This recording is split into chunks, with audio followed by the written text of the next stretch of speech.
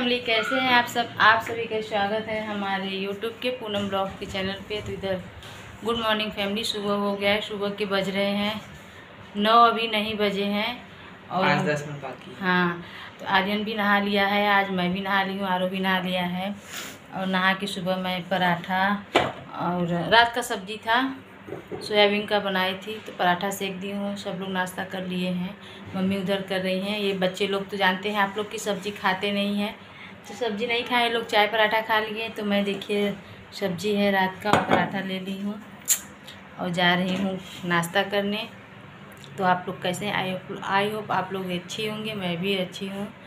और आप लोग से हाथ जोड़ के विनम निवेदन है कि जैसे आप लोगों ने मुझे उस चैनल पे प्यार दिया था, पूनम ब्लॉग्स के पुराने चैनल पे, वैसे हमारे इस चैनल पे भी मुझे प्यार दीजिए। मेरे चैनल को सब्सक्राइब करिए, इस वीडियो को शेयर करिए। और मैं ननद के घर से आ गई हूँ ससुराल। ससुराल आने के बाद मैं टिकट के लिए बहुत परेशान हूँ क्योंकि इन लोग के एडमिशन के लिए बहुत लेट हो रहा है। अब आज देखो, भगवान से दुआ करो कि मेरी फटाफट टिकट अगर से आज कल का मिल जाए तो हम लोग भी निकल जाएँ क्योंकि पढ़ाई से ज़्यादा इम्पोर्टेंट कुछ नहीं है।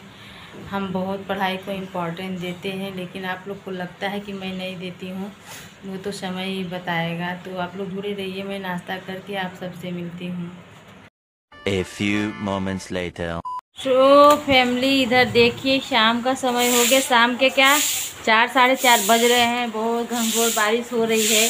और हमारे रूम में देखिए बाढ़ आ गया है आर्यन काच रहा है पूरा पानी देख रहे हैं। रूम में पूरा पानी पानी हो गया है और मैं झाड़ू काच रही हूँ। अब कैसे इसको निकाल चलो आर्यन निकालो। अरे चेयर क्यों नहीं?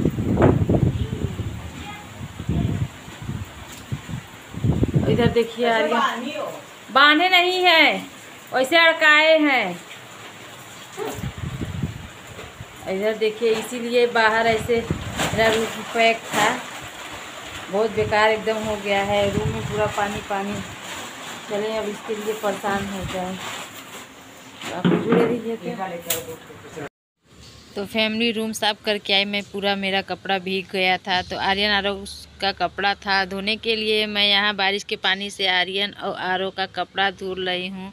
और बारिश का, बारिश में कपड़ा धोना, भीगना किसको नहीं अच्छा लगता है, मुझे बहुत ज़्यादा अच्छा लगता है तो मैं सोच रही थी कि फटाफट कपड़ा धो के, फिर उसके बाद मैं नहा लूँ और बारिश धीरे धीरे हो रहा है, मैं कपड़ा धुल रही हूँ, आप लोग को भी बारिश में अच्छा लगता है, भीगना A few moments later. तो फैमिली बारिश देखिए ख़त्म हो गई है। बारिश हो रहा था सुबह से। मम्मी नहा ली मेरे लेकिन नहीं नहाने दी। ये आरव आर्यन पानी नहीं भरे थे कपड़ा वैसे भिगो के रखी थी।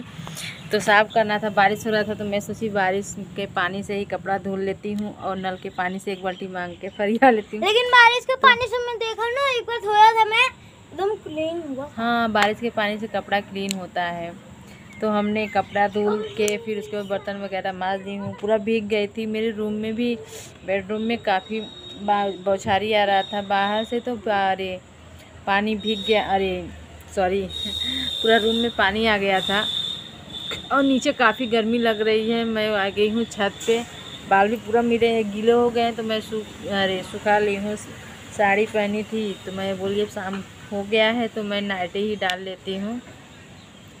पूरा भीग गई थी रूम में, कभी पानी का छूना, सब निकालना। बहुत अजीब सा है, बारिश में बहुत दिक्कत यहाँ होती है।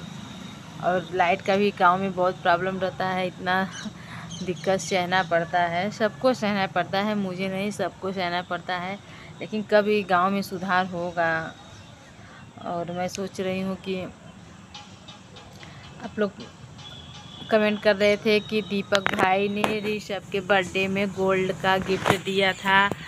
तो मैं, अरे, आर्यन के बर्थडे में क्यों नहीं कुछ दिया? तो बात ये है कि मैंने अपने मैके वाले को आर्यन के बर्थडे में इनवाइट ही नहीं किया था। और मैं इस बार गई थी अपने ननद के ससुराल बर्थडे सेलिब्रेट करने। तो ननद के ससुराल गई थी, मैं बुलाती तो वो ज़रूर आते, लेकिन मैंने किसी को बोला ही नहीं। इसलिए मैं नहीं बोली, आप लोग जानते हैं कि उधर किट्टू का भी तबीयत काफ़ी ख़राब था। मम्मी, किट्टू सब लोग परेशान थे। फिर इधर से दीपक भाई भी पा भाभी, बच्चे लोग को दो लेके और पापा पापा को लेके इधर अकेले घर संभालना। तो आते तो नज़दीक तो है नहीं। अगर मैं कस्तूरीपुर में मनाती तो ज़रूर बुलाती। लेकिन मैं जौनपुर में गई थी। बुलाती तो ज़रूर आते, लेकिन मैं बोली, जाने तो परेशान है, क्या ज़रूरत है? आपस में ही हम लोग मना लेंगे। तो आर्यन के बर्थडे में इसीलिए मैंने अपने मैके वाले को नहीं बुलाया। मैके वाले क्या मैंने किसी को भी नहीं बोला। मैं, और मेरा कोई वो नहीं था कि हम यहाँ आएँगे, जाएँगे जौनपुर ही मनाने। हम सोचे थे कि आर्यन का बर्थडे है, नॉर्मल तरीके से चलेंगे। शांति से बस माता रानी का दर्शन करवाएँगे उसको। बहुत दिन से जब से मेरी शादी हुई है, सोलह साल मेरी शादी को हो गए, मैं अपने ननद के घर पे कभी गई नहीं। हूँ, कितनी बार बुलाए, जब आर्यन के पापा थे तब पर भी जब मुंबई से आते थे ना तो बोलते थे, काफ़ी दूर है, इसकी वजह से नहीं ले जाते थे। आर्यन भी छोटा था तो काफ़ी उछलता था तो बाइक से डर लगता था उनको, कहीं कितने दूर के सफ़र में कहीं गिर उड़ न जाए, इसकी वजह से वो मुझे नहीं लेके गए। और जब ऑफ़ ही हो गए आर्यन के पापा तो फिर उसके बाद क्या किए कि मेरी ननद मुझे कितनी बार बुलाई, मैं गई नहीं। तो यही लास्ट ऑप्शन था और टिकट का भी प्रॉब्लम था, इसके लिए मैं नहीं गई।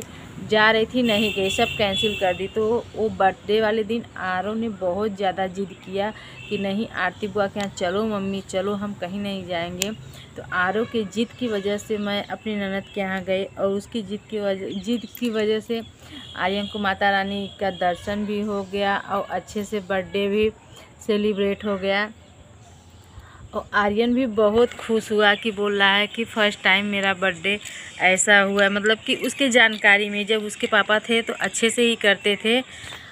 फ़ोटो वगैरह सब खिंचवाते थे, सबको बुलाते थे, लेकिन होटल में जाके नहीं करते। थे लेकिन अपने ही इन्वर्सरी पे जब मेरी शादी की इन्वर्सरी आती थी तो उस दिन हम लोग कभी केक नहीं काटते थे। हम लोग बाहर जाते थे, खा पी के आ जाते थे। और आर्यन के बर्थडे के दिन सबको बुलाते थे घर पे खाना भी खिलाते थे। पचास साठ लोग उनके फ्रेंड लग, लोग रहते थे अपना आते थे सब कुछ करते थे।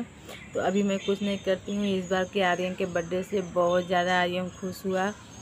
और उसको सबसे अच्छा लगा कि अब मेरी बुआ के घर पे ले जाके मम्मी सेलिब्रेट की है। आर्यन का बर्थडे का खर्चा किसने किया और कौन किया? तो वो मेरे नेक्स्ट ब्लॉग में आएगा तो मैं अपना वीडियो यहीं पे समाप्त करती हूँ। वीडियो पसंद आए तो वीडियो को लाइक शेयर सब्सक्राइब ज़रूर करिएगा। मिलती हूँ एक अच्छे और नए ब्लॉग लेके। Bye bye and take care